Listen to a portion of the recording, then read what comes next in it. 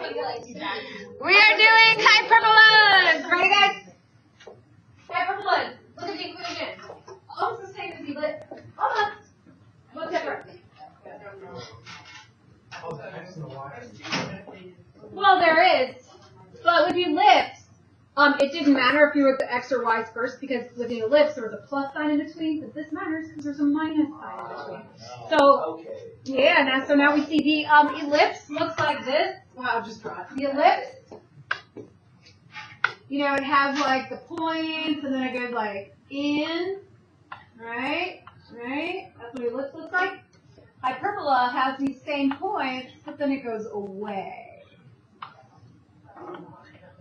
So instead of going in, it goes away. That's what the minus sign does. Um, so the center is still HK, but you have to be careful because sometimes y is going to be written in that first equation. Sometimes y is put in that first equation. So if you're writing HK, you still have to put the x value first, then the y value when you write your center. If you get your center wrong, guess what? Everything's wrong because everything goes up the center.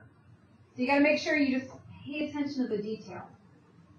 Um, the the length of those axes doesn't determine which one is the major one anymore. It's not even called major anymore. The length, um, what's underneath, is not what determines it. It's whatever comes first.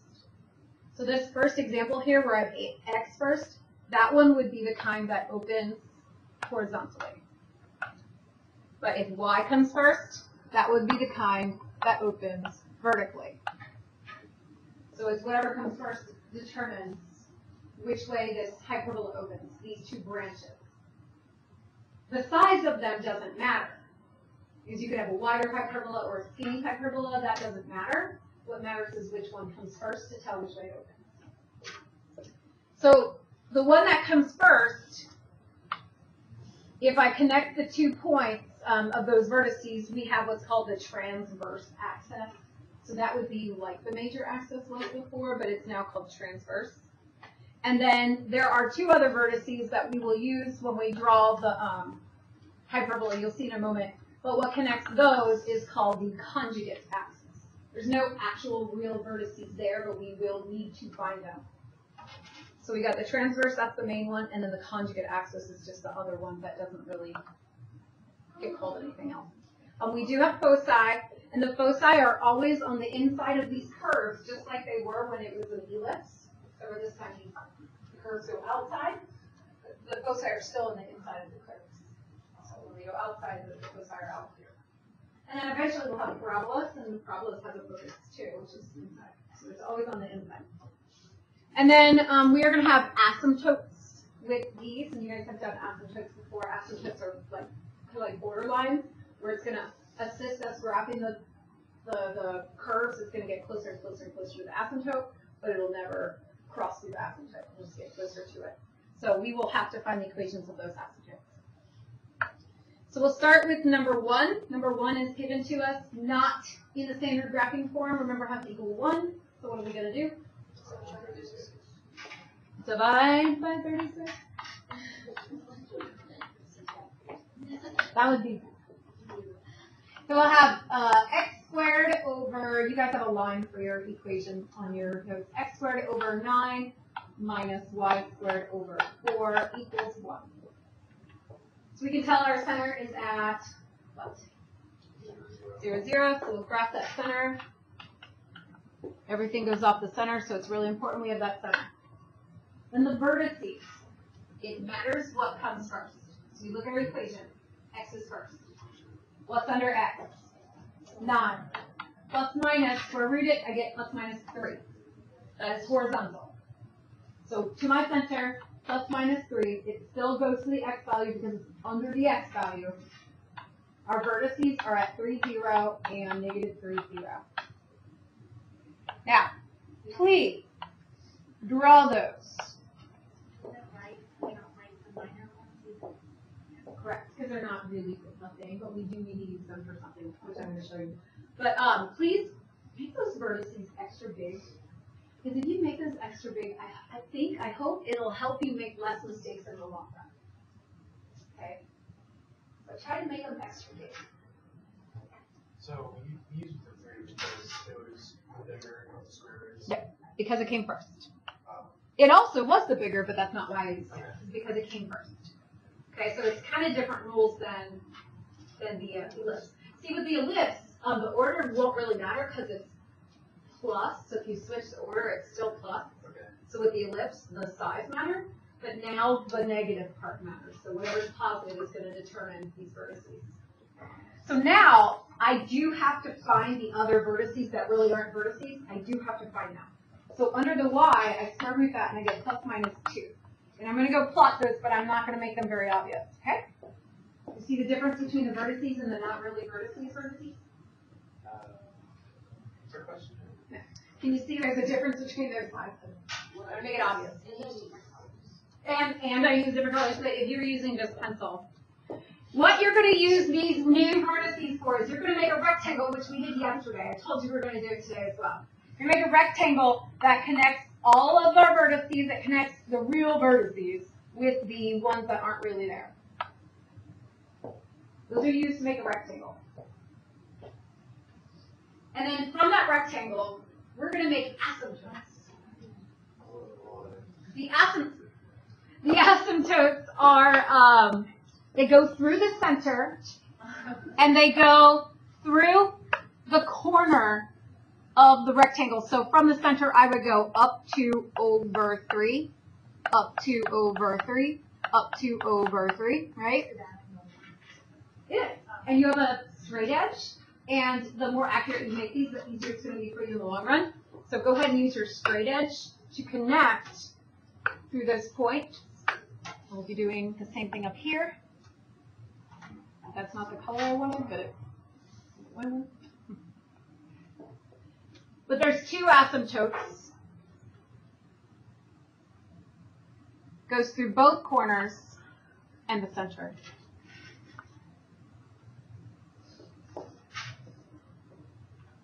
Use your straight edge.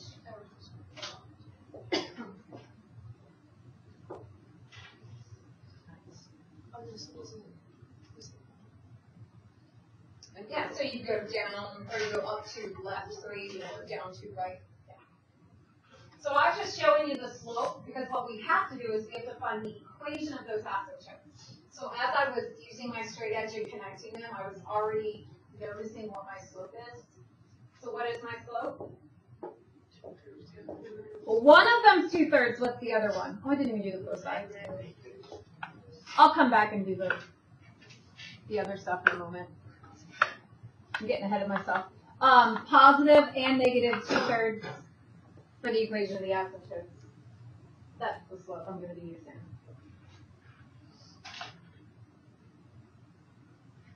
Okay, I will come back to the equation of the asymptotes in a moment. I was just making a mental note as I was making them. Now, both sides, there is a new equation. It's on um, in your notes, and it just says a squared plus b squared is c squared. So we're going to take the two denominators, the 9 and the 4, and add them. Where with ellipse, we subtracted them. We're now going to add them. So we're just going to add 9 plus 4, square root, square root 13, plus minus square root 13. And does that go horizontal or vertical for this one?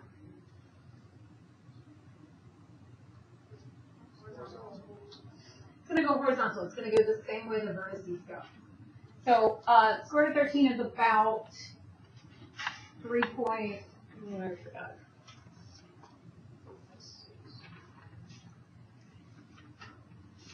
Three point six. That was it. So from the center, we will count out 1, 2, 3.6. Put my foci there. I made my job so big and vertices. Okay, so the hyperbola branches go through the vertices. The foci will be inside them, and they will get closer and closer and closer to the asymptotes. So just be careful when you graph these that they're getting closer and closer and closer to the asymptotes. Don't pass through the asymptotes. They connect. Oh, I just passed it. They connect with the uh, vertices, not the foci. The foci should be on the inside.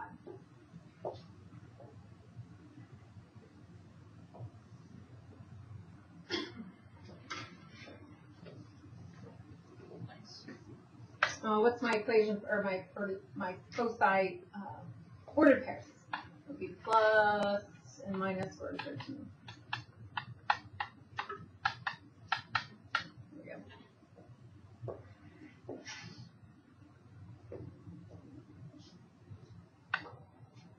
Okay, then finally we have to write the equation, the asymptotes. These, th- these asymptotes are gonna be really easy. Um, you have to find the slope and the y-intercept, which I hope you can even look at the graph and find that. But if, if it's something where you couldn't just look at the graph and find, or you didn't wanna just stare at the graph to figure it out, um, you would use point slope formula. Point slope formula, you use the slope and you use the point. The point you're always gonna use is the point they all go through, the center. So zero, zero. And we would use point slope formula that says y minus y1 equals slope multiplied by x minus x1. But there's two equations, so I would do that for the positive, and I would do that for the negative slope. But the center's at zero, so if I like distribute and, you know, simplify it, we're gonna get this positive two thirds x and negative two thirds x. So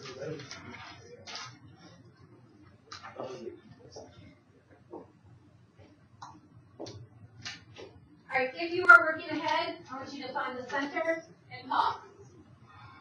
Good thing you're all using a pencil, just in case you make a mistake.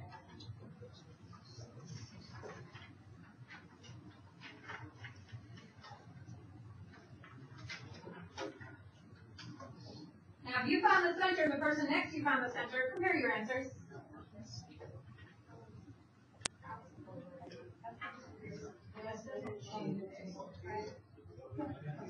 Like, you mean the, the, the, it does not change the, the K or the H? Like, it would, yes, you're correct. Alright, so remember I said, if you get the center wrong, you get everything else wrong. Anybody get the center wrong? Negative one, two. No, you always do what first? X first. Ordered pairs, always first. Even though Y is written first, you know, what, what does Y um, be written first tell us about this hyperbola? It's gonna open up again. That's what it's telling us. Okay? So, um, you just gotta be careful. That would just be a major silly mistake that people make. So then from there, um, can we, uh, just move on to the next one? Can we, cause I'd rather get through the next one. We can fill all this out later, but I, yeah. I just wanna make sure you're paying attention to the center. Okay? We're gonna do the exact same thing, but let's do it with the next one as well. Um, I just wanna make sure we get through the complete start part before, before the bell rings. Um, I do have that other one filled out and it will be posted online, but that, that was the only tricky part about that one was, um, okay. Alright, so let's do number C, letter C. You gotta complete the square. You start, I'll catch up to you.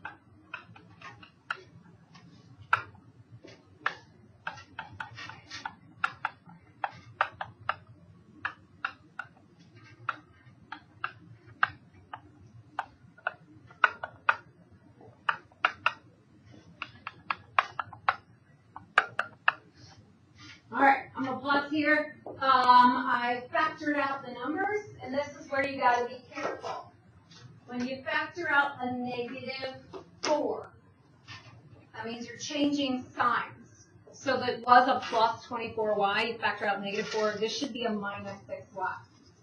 So if you don't have a minus here, probably gonna get the center wrong. If you get the center wrong, everything else is wrong. So just take your time when you're doing your complete the square, so make sure you're factoring out that negative properly. So I'll continue this.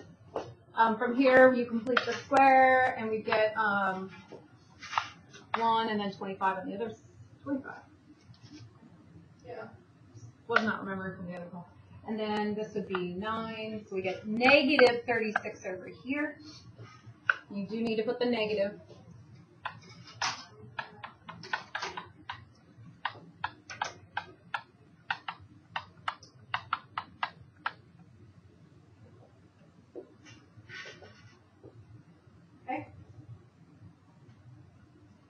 then we have to set it equal to 1, so we have to divide everything by 100.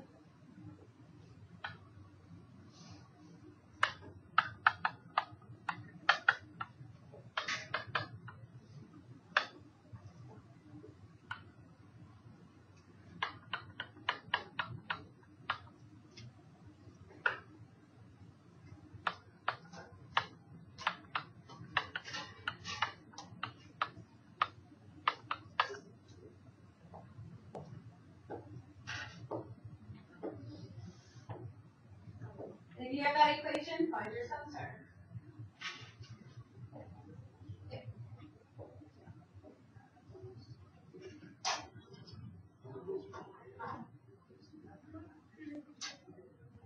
No, you're factoring it, like X. Right, well, that's the other side of it, from here to go down to very factoring, that's what we're saying.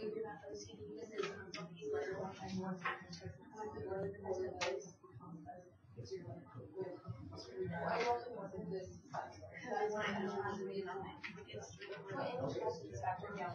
All right.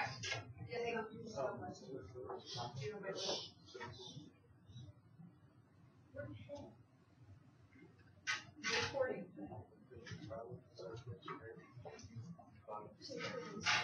Yeah. By the, yep, by the factor. All right, so I have my equation. My center would be at positive one, positive three. Then for the vertices, x comes first. So we plus minus two, and then we add and subtract that to the x part of the center. So our vertices are at three, three, negative one, three. It's whatever whatever comes first. But I also have to plus minus that 25 or that 5. And I do need to scrap that so I can make my uh, rectangle. But those aren't real vertices, so I don't need to write them down. And once I make my rectangle,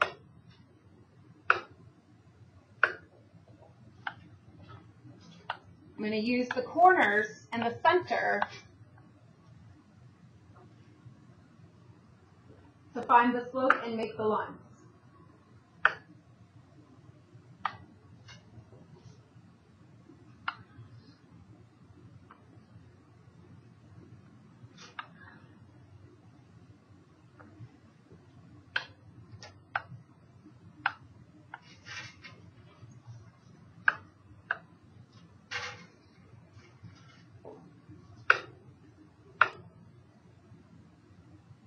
Once I graph my asymptotes, I can I can draw my hyperbolas at that point. I can draw those branches.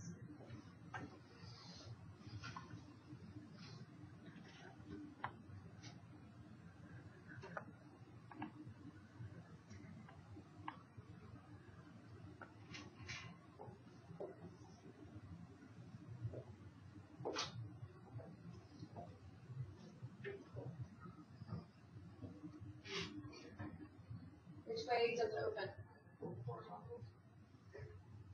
Oh, you're your favorite answer.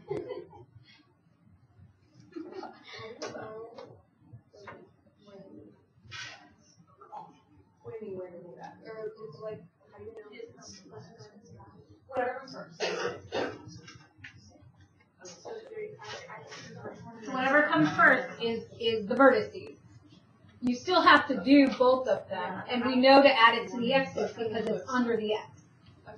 Oh, yeah, yeah, the foci, that's gonna be whatever comes first as well. hmm So then we do our foci, we do, uh, we just add together four and twenty-five and square root that, which is square root twenty-nine, we're gonna do plus minus. We're gonna add it to the x's because that is, um, the way that the, uh, um, hyperbola is open, that's where our foci will be. So we'll have one plus square root twenty-nine comma three, and one minus square root twenty-nine comma three. And square root twenty-nine on the calculator is about five point four. So I will go from the center out one, two, three, four, five point four. One, two, three, four, five point four. And then we have our asymptotes. So the asymptotes, we need the slope, which is a five and a two. You just have to tell which number comes on top. Well, the y comes on top. So y is five, x is two. Plus minus five halves. The point we use is our center. Okay. We are gonna do point slope four. Y minus three equals five halves. X minus one. And then y minus three equals negative five halves. X minus one. Same equation, just one positive five halves, one negative five halves. Distribute the fraction.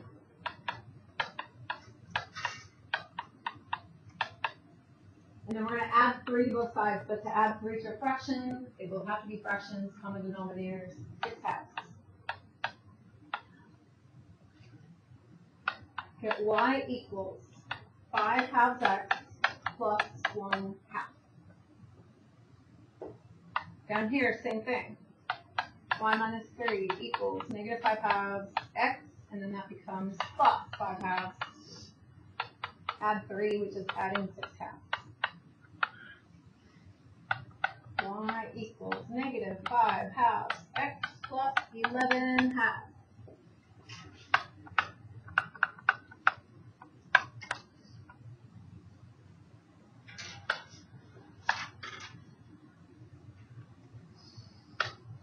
With as much work as you just did, you want to make sure that you're right. So I would encourage you to check b. Do you remember what b is in y equals mx plus b? What is that one half? This is why I intercepted the line. So I'm going to look at my first, or one of my asymptotes to see if it crosses the y-axis at a half. So my purple line, does that appear to cross the y-axis at a half? So a little check mark there. Yep, yep. Mm -hmm. And then um, 11 halves is five and a half. So we go and we see, does this, oh yeah, it looks like it crosses right there at five and a half. Good. That looks about right. Just make sure that you're doing your asymptotes right and not making silly mistakes.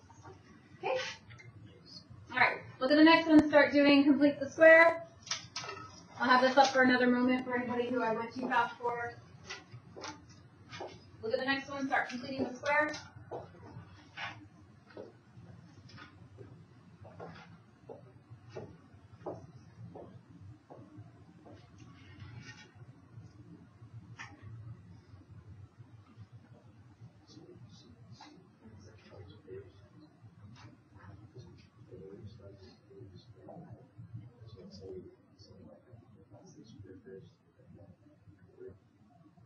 But what matters is when you finally write your equation, that you put the subtraction in the middle, so you remember like, the rules of whatever comes first is how it opened.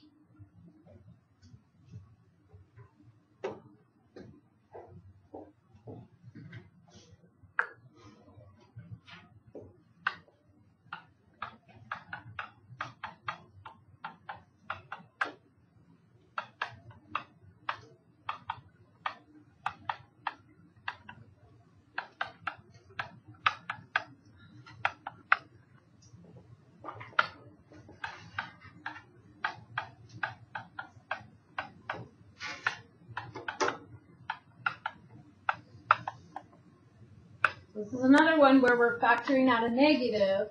So you gotta be careful with your signs.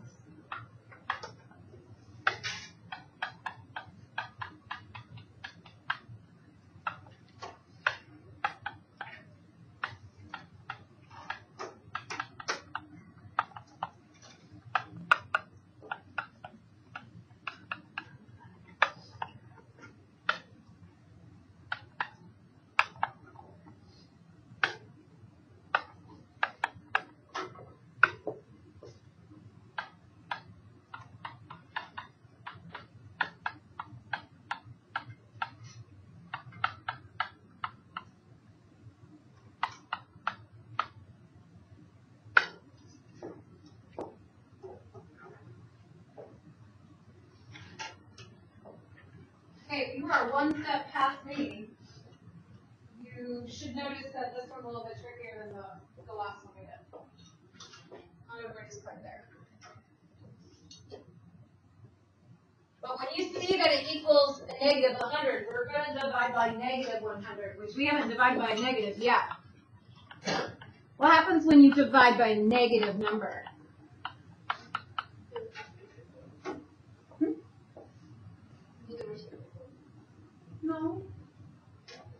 Negatives cancel. Negatives cancel, you change sign. When you divide by negative, that changes sign.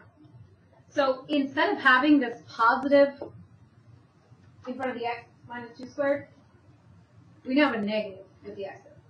Instead of having the negative with the y's, the y's are now going to be positive. So when I write my equation, I don't have a lot of space for like two more steps here. You guys probably have more space than I do. When I write my equation, I'm going to have to rearrange my terms. I'm going to have to write, these are going to cancel out, and we're going to get a positive y plus 1 squared over 25. And then when I take 25 divided by negative 100, I'm going to get a minus 4. And then on top of x minus 2 squared equals 1. So because of the, the, the sign switch, the order of my x's and y's are going to be switched. Well, I like to keep it in that order with the subtraction sign in the middle so that I always remember whatever comes first is how it opens. So when I look at this right now, I know that it's going to open up. Okay? And then I think, before I write, where's my center? 2, negative 1. I think before I write, the x part of the center has to come first. The vertices will be the plus minus 5, but that's with the y. So I do that to the y of the center. So that's with the y. So we'll have 2, negative 6, and 2, 4.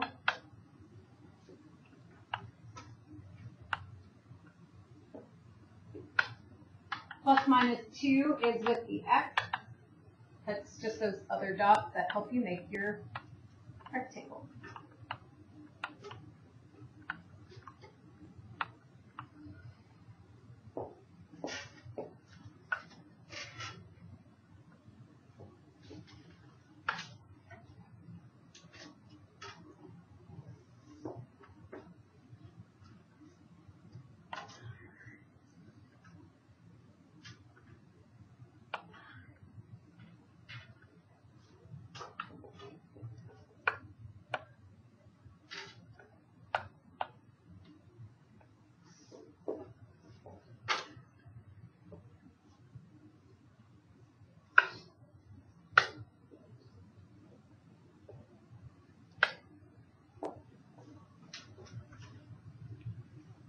And then remember, if you made your vertices pretty obvious, and you made the other dots not as obvious, it'll be easier to remember which way it opens. This way it opens vertically because y came first.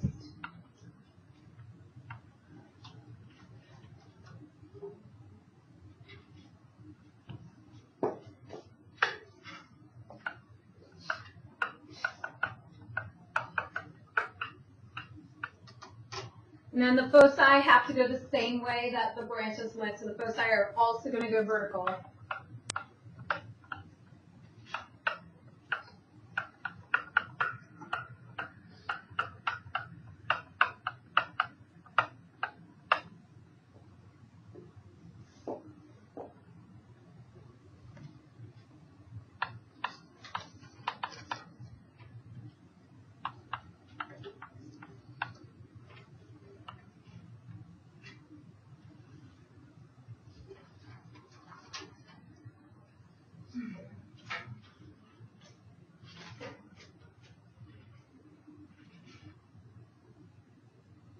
finally, you guys have equations of the asymptotes. And then the asymptotes, you need to know the slope. So you're going to use your A and your B values. You're going to use how far you went out. Use 5 and 2. You just have to make sure you put the y over the x. So we went up 5 over 2.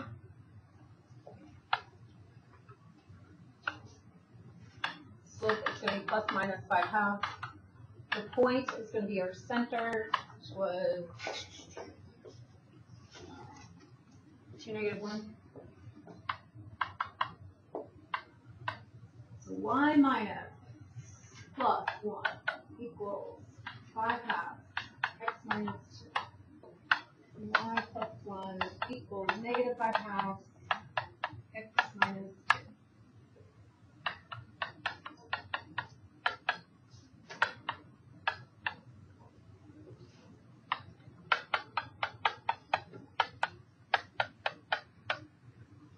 So distribute. And you're gonna uh, subtract your 1.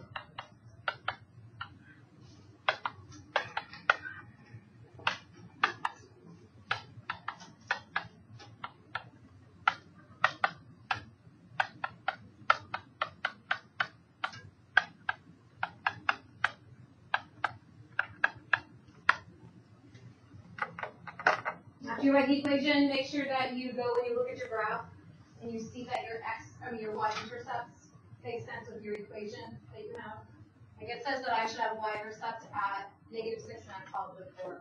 And when I look at my graph, that, that looks right. Make sure it looks right. Alright, if you're done with that one, read the next one, start figuring it out. I'll catch up to you. The last examples are the ones where you work backwards. Yeah.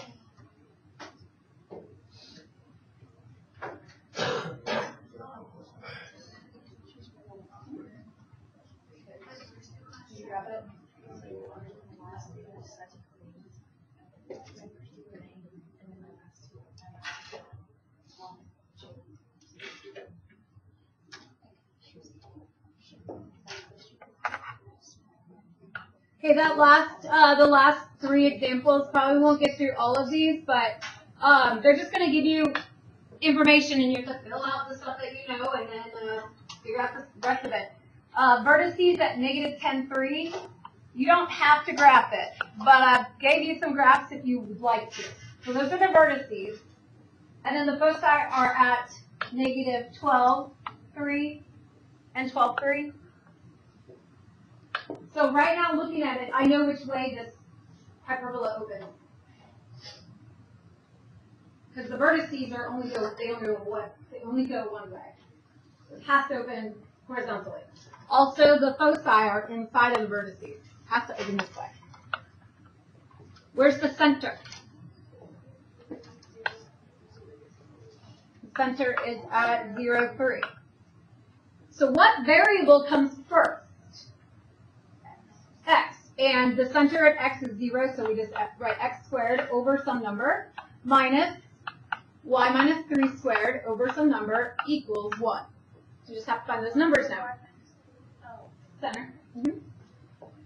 So the x comes first. From the center to one side is 10. So what goes under x? 100. From the center to one of the foci is 12. That means our c squared value is 144. And we're using a squared plus b squared. We're adding the two denominators to give us 144. So 100 plus something is 144. What is missing? 40.